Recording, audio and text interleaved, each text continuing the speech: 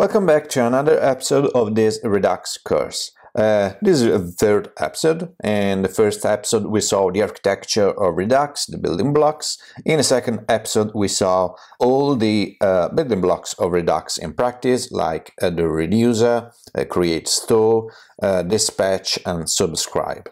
Uh, let's go through them really quick. A root reducer is a function uh, which is in charge for um, returning the next state of the application.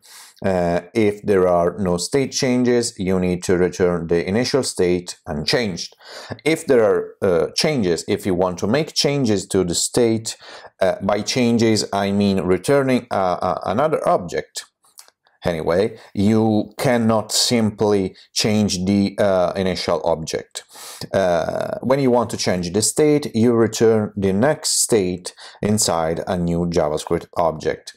We saw two styles for returning this state, the object spread syntax and object.assign. We also saw how to create this store with this create store function and we uh, dispatched a couple of actions in this event listener and also we reacted to the uh, state changes with store.subscribe. We're mentioning this get state which is uh, convenient for checking uh, the exact uh, property of the state that we want to uh, listen to when it changes. Now, a source of confusion for beginners is uh, this concept of action creators and named constants or also uh, named actions. Uh, in a moment we will see that there is no nothing difficult about this concept. Uh, first thing first, as you can see, uh, uh, there are a bunch of strings repeating over and over. This button clicked is uh, in the reducer. It is also in this action and uh, hmm, could also appear uh, in other spot of the application. But for now, if we want to isolate these strings to avoid typos, for example, because if I'm going to change this string to button click, that will create problems. It will be difficult to uh, spot these kind of bugs. So uh, to avoid this problem, we can abstract the actions inside a constant. For example, we can say const button clicked, and that will hold our string. Now we can use this constant instead of the string inside the reducer and inside the uh, this action object. Let's create another um, constant for div visible. They're visible. Uh, this is a, a, common wisdom in software development. Abstract constant and name it constant. Uh, at this point we can use button clicked here and div visible here in the reducer. And that will um, make sure that uh, even if I misspell a letter here, the application won't stop working. Uh, let's also use um, the constant here and here. Uh, these are named constant, named actions. Another source of confusion are action creator. Um, let's look at, at our application. Uh, what is that could change inside this piece of code? Uh, we have two JavaScript objects.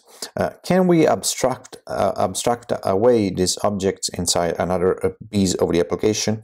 Yes, if we create two functions, one named function button clicked,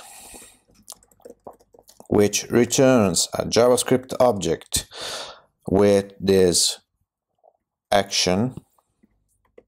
And we can also create function div visible which returns another JavaScript object with this um, action we can remove this stuff and return the object here.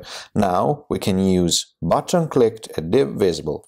These are action creators, nothing difficult to think about. And this action creator can be used here. So for example, uh, we will use button clicked here as a function call and div visible here as another function call. These are action creators. Uh, action creators in Redux are functions returning JavaScript object, and that objects are uh, Redux actions.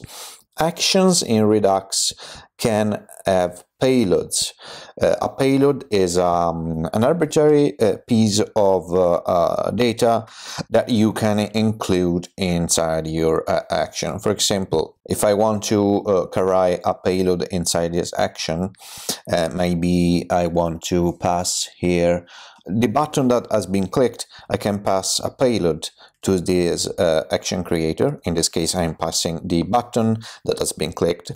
And here I can uh, get the payload uh, from the parameter and I can, uh, for example, pass the payload here. And that payload will be away available inside the um, reducer. That means that if, if we want to uh, intercept the action payload and do something with it, uh, think, for example, of an API call where you get uh, the data from the from the the call. That will be a topic for one of the next lessons.